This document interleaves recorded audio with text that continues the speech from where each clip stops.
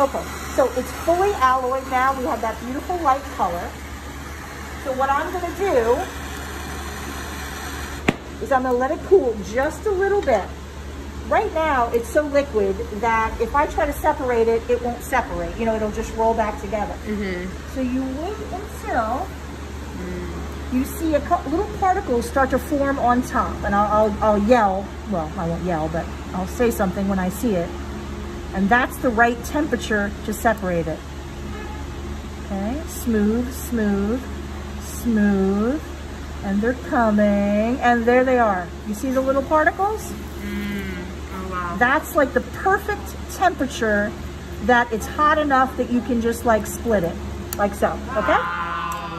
Cool, Oh my gosh. So this is gonna be our sheet. So we don't have to alloy it again, but I'm just gonna heat it up till it makes a nice blob. One ounce, right? Yes. So I made one side a little bigger because you said you wanted a little more wire.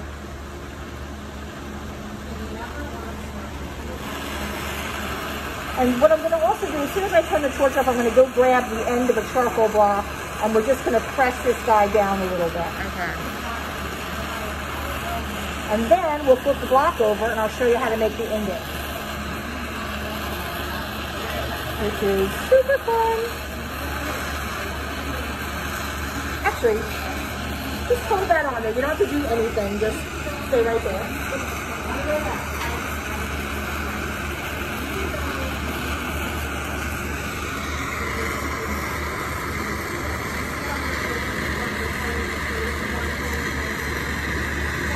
Beautiful. Take this back. Also have to turn it off. And I'm going to use a clean end, you know, with no binding wire on it. Okay. Then you very carefully squish it. If you squish too hard, gold could squirt, which you would really not want. Okay, I'll let that sit there for a sec.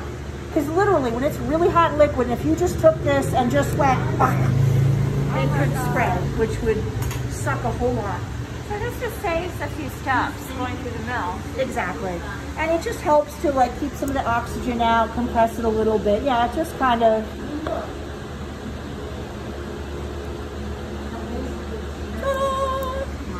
Look how cute. Oh wow. Okay, so I'm gonna. So I'm gonna take this and just flip it onto here let it continue cooling there. I'm going to extremely carefully flip your block over. Okay. And then I'm gonna put that other guy on there. Okay, the only thing I need is I'm gonna steal your tweezers and put this guy up here. And then we're gonna stretch it into a nice ingot Okay. because it's harder to get hot.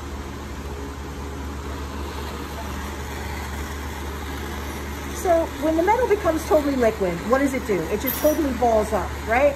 So this is sort of like you heat it up, you stretch it a little, you pull the heat away. You know, it's kind of a fine tuning thing to make the ingot.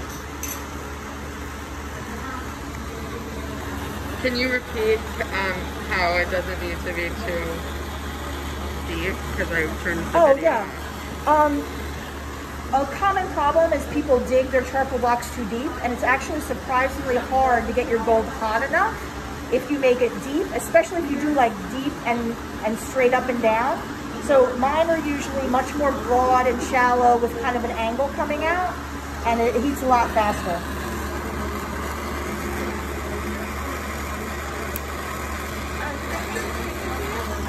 Oh, I'm so sorry. I'll be right there. One second. We got gold the hopper. So you see how you just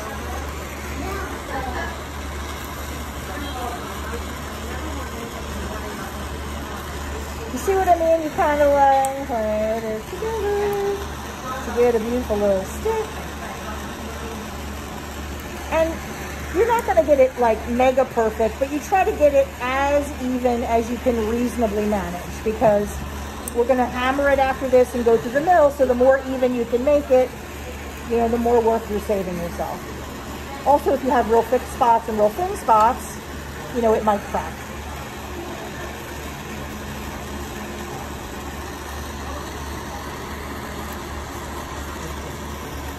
And it always wants to form a little um, dip at the end, so just be aware of that.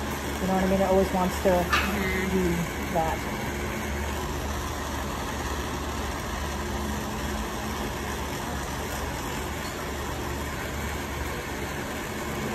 It's like mud pies, but for grown-ups. Hmm. Really interesting. My channel is way too deep. It takes a lot longer to get it hot. I mean, it's not the end of the world, but it'll take you a lot longer. And we have too many things to do to waste our time.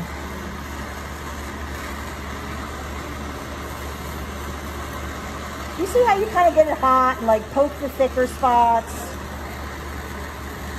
I'm just to try to even that out in there a little bit and that's, and that's perfectly good. I just don't want to have that like thinner spot right there.